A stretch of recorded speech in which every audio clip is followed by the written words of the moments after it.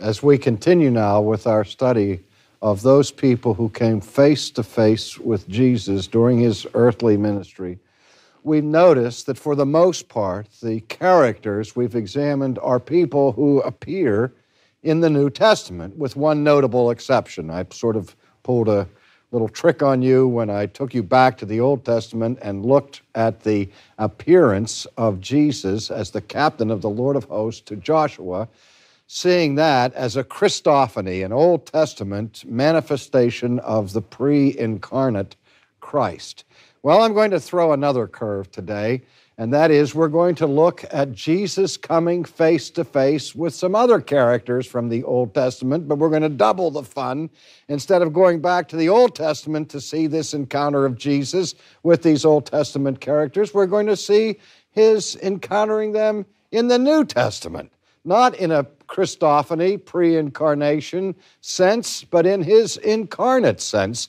Jesus comes face to face with two figures from the Old Testament, and those persons are Moses and Elijah. Now, before we look at this text, let's just consider the significance that it is these two men who meet Jesus face to face in the New Testament.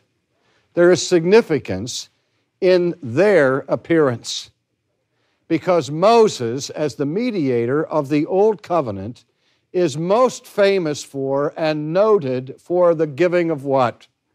The giving of the law. Whenever we see portraits of Moses or sculpture, we usually see him holding the tablets of stone. He's the lawgiver of the Old Testament. And the role of Elijah in the Old Testament is to stand at the front of a long line of men who are called of God and endowed charismatically with the gift and the calling of that of a prophet. And the scriptures so frequently say in summarizing all of the testimony of the Old Testament, the reference will be to what? To the law and to the prophets. The law and the prophets, John tells us, ruled until John.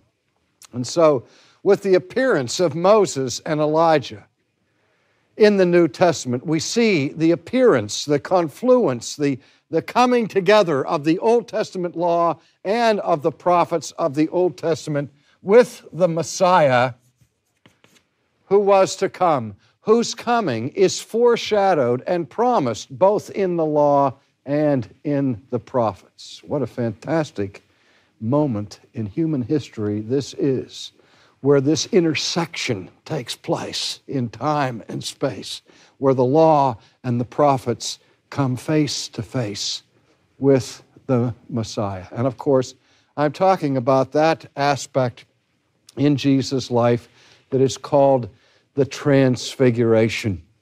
The Transfiguration is recorded in, in more than one gospel, and, and today I'm going to read, first of all, the record of it that is found in the Gospel according to St. Mark.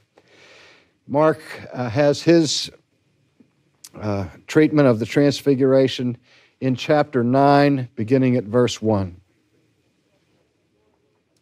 We read this, and he said to them, Assuredly I say to you that there are some standing here who will not taste death until they see the kingdom of God present with power. Now, after six days, Jesus took Peter, James, and John and led them up on a high mountain apart from themselves and he was transfigured before them. The first thing we have to note is where this takes place in the life of Jesus. Jesus had carried on a public ministry for quite some time, and he had ridden the waves of popularity where he ascended like a meteor to, to tremendous fame and popularity in the land. But there was an increasing growing hostility emerging at this time. And near the end of his ministry, in a sense, Jesus and his disciples went on a retreat. They went far to the north, to Galilee. And there, while they were at Caesarea Philippi, Jesus gathered his inner circle, Peter, James, and John, around himself and sort of took the pulse of what was going on. And it was there that he asked the question, Who do men say that I am? And he got the response, Some say that you're a prophet, and so on. And he said, Well, who do you think that I am? And it was on that occasion that Peter gave the great confession, Thou art the Christ, the Son of the living God. You know the story, how that. Uh, uh, then Jesus blessed Peter and said, Blessed art thou, Simon Bar Jonah and thou shalt be called Petros, the rock, and upon this rock will I build my church, and so on. But then in the next episode that takes place, Jesus explains to his disciples that it's time to leave this place of retreat and journey back to Jerusalem, where Jesus tells his disciples that when he gets back to Jerusalem, he is going to be betrayed and be delivered up to the authorities, and that he's going to suffer and die. And when he says that, this same Simon Peter, who had just moments before said, Thou art the Christ, the Son of the living God, now says, No, no, no, no. God forbid that you should go to, to Jerusalem. We're not going to stand for that, and so on. And Jesus, who just so recently had said, Thou art Petros, the rock, now he says, Get thee behind me, Satan, and has to rebuke Peter for his poor confession at this point. So when, when, when uh, Mark tells us after six days, he's setting this in the historical narrative where six days after Jesus had informed his disciples that he was going to Jerusalem to die. And they set out on that journey. Probably the most frightened, disappointed group of men in all of human history trudging along, following after Jesus, as he sets his face like a flint towards Jerusalem, as they are trying to bear up under this horrible news that he has given to them that he is about to die. How like it is of God in the midst of that kind of moment to burst through the veil of humiliation and give his people a taste of glory. The, the record of the Transfiguration, frankly, is one of my favorite passages in all of the New Testament. A few years ago, I wrote a book called The Glory of Christ. And that book focused on those moments in Jesus' earthly ministry when, as it were, his divine nature peeked around the veil that concealed that was concealed uh, in terms of his deity. Normally, Jesus traveled incognito, willingly embracing his role as the suffering servant in the midst of humiliation, hiding his glory from the naked vision of mortal men. But on rare occasions, the glory would break through. And it was a delightful experience for me to write a whole book just focusing on those moments where the glory broke through. And there's no moment more glorious, I think, during the earthly ministry of Jesus than this one that is called the Transfiguration. Again, we look at the text of Mark chapter 9. After six days, Jesus took Peter, James, and John, his inner core, and led them up on a high mountain apart by themselves, and he was transfigured before them. Now, that word transfigure is not a word that is commonplace in our vocabulary.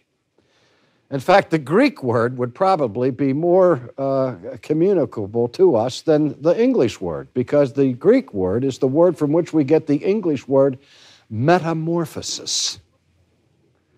And the word metamorphosis, I think, is more familiar to us than the word transfigure. When do you ever hear the word transfigure? Except when you're singing the battle hymn of the Republic, you know, with a glory in his bosom that transfigures you and me. And even then, we have no idea what it means that, that we are transfigured. Uh, but let's look at a metamorphosis. A metamorphosis is something that takes place when the, the, the caterpillar becomes the butterfly. Ovid, the uh, Roman poet, wrote a whole book and by the title Metamorphosis. And metamorphosis has to do with a change of form.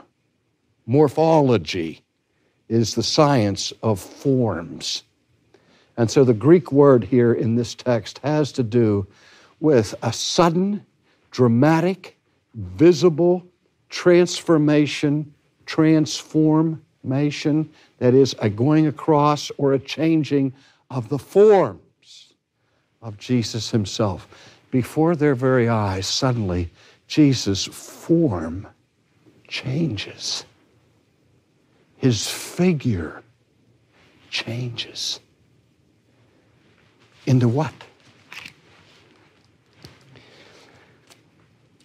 His clothes became shining, exceedingly white like snow, such as no launderer on earth can whiten them. Wow. The first appearance here is of a transformation in Jesus' physical appearance, in his clothes, and in his face. We are told that now suddenly the refulgent glory of God begins to shine. Whenever Scripture speaks of the glory of God, it speaks of that glory in terms of a shining. And it speaks of it in terms of a dazzling, blazing light that is so bright it would hurt the eyes to look at it directly. And here, as the author of, of the New Testament seeks to, to somehow find in his finite arsenal of, of, of vocabulary words a way to describe this ineffable experience of glory, he says that the whiteness of the garments of Jesus became whiter than any fuller or whiter than any launderer can make. I remember when I was a child, I grew up, they had, didn't have television. We had radio, and when we would be home sick in the summertime, have to listen to the soap operas all afternoon. And they were called soap operas because the sponsors of these programs were soap manufacturing companies. And I would listen to the, the jingles of the of the uh, commercials. D-U-Z, D-U-Z, put Duz in your washing machine, see your clothes come out so clean. D-U-Z does everything. Rinse so white, rinse so blue, you know. And, and you would hear all of these, these programs day after day after day with these ads. Well, the one that, that, that intrigued me as a child was this one soap called Tide. Tide's in dirt, ah, T-I-D-E, Tide. See, that was the way we'd sing that little commercial. But it seemed like every year, Tide would come out with a new, improved version. And they always advertised new and improved Tide. And I started to wonder about that after a while. I said, now, if this is eight years in a row that we're getting new and improved Tide, I wonder what that product was like eight years ago. It must have been terrible. And then one of them, I don't know if it was Tide or whoever, finally came up with the slogan that they made their clothes come out whiter than white. And I thought, now this is the nadir of Madison Avenue, distortion of the sanctity of truth. Because surely there is nothing whiter than white. White without any hint of color. White without the slightest hue of gray white without the most minute mar or imperfection, a white that is absolutely pure.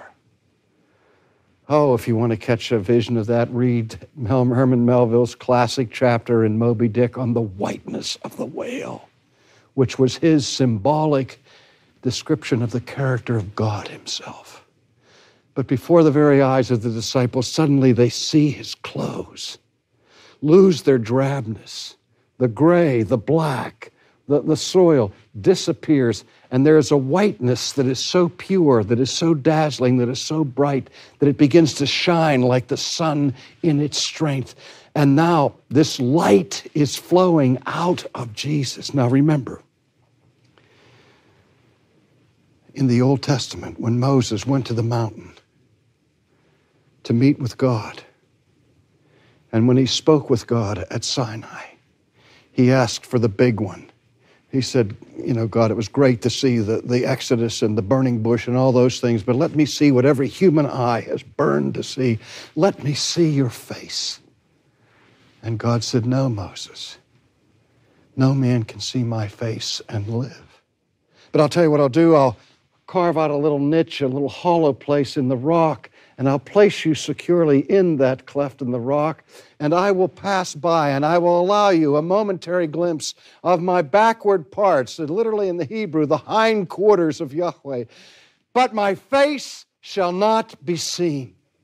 And the scriptures tell us that the glory of God passed by that cleft in the rock, and Moses had a momentary, instantaneous glance at the refraction of God's glory. And when he came down from the mountain, his face was shining with such intensity that it frightened the people. Moses' face. Moses' face was shining, and the shining that was coming from Moses' face was the result of the reflection of God's glory from a sidewards glance at his backward part. Now, I want you to understand that the light that the disciples see in Christ is not a reflection. It is a light that is coming from inside of him,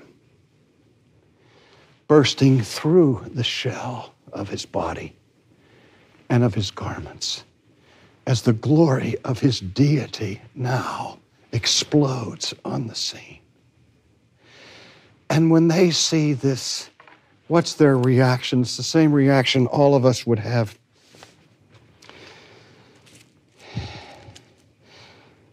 They were terrified. And we read in verse 4 And Elijah appeared to them with Moses, and they were talking with Jesus. And Peter said to Jesus, Rabbi, it's good for us to be here. Let's make three tabernacles one for you, one for Moses, one for Elijah because he did not know what to say, for they were greatly afraid.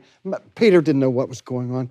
All of a sudden, there's this transfiguration. All of a sudden, there's this dazzling whiteness and this brightness of, of, of the strength of Christ's glory. And then, to add astonishment upon astonishment, suddenly who appears but Moses and Elijah?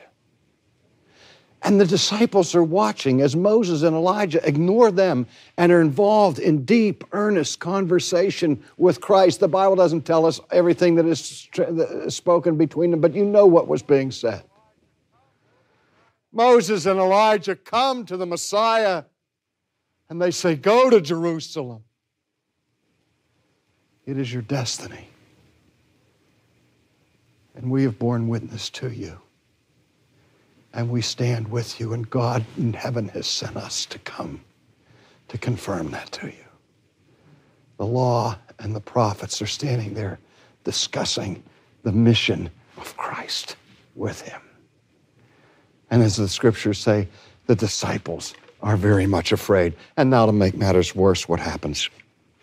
A cloud came and overshadowed them, and a voice came out of the cloud saying, This is my beloved Son hear him. Suddenly, when they had looked around, they saw no one anymore, but only Jesus with themselves. What kind of a cloud was this? What kind of a cloud do we always associate with the presence of God but the Shekinah glory? And this cloud of glory comes now and encompasses Christ and encompasses Elijah and encompasses Moses Perhaps it had come to transport Elijah and Moses back to heaven, just as Elijah once had been translated and had gone on the chariots of fire into the heavenly places. And just as the Shekinah glory cloud came again to escort Christ in his ascension into glory, and the promise that Jesus made that at the last day when he would return to this world, he would return with the clouds of glory, so the Shekinah cloud that indicates the visible presence of God Himself and His exalted majesty now overshadows it. If the vision of Christ's transformation wasn't enough and the appearance of Moses and Elijah wasn't enough, now here comes the cloud. And that's not the end yet. And as the cloud envelops them, they hear audibly the voice of God from heaven. Think of it. Only three times in all of the New Testament is it spoken of God that He spoke audibly from heaven. And on every occasion, when God spoke, the message was substantially the same. Remember at the baptism? This is my beloved Son, in whom I am well pleased. And now, while the disciples are cowering on the ground and hiding their faces and in absolute terror with this phenomenon that's taking place, they hear the voice of God. And what does God say? This is my beloved Son. Hear him. Listen to him.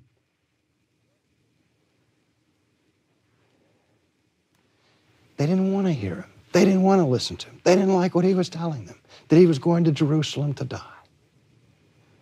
And to reinforce Jesus' teaching to these men came the testimony of Moses, the testimony of Elijah, and finally the audible word of God Himself. This is my Son. Hear him.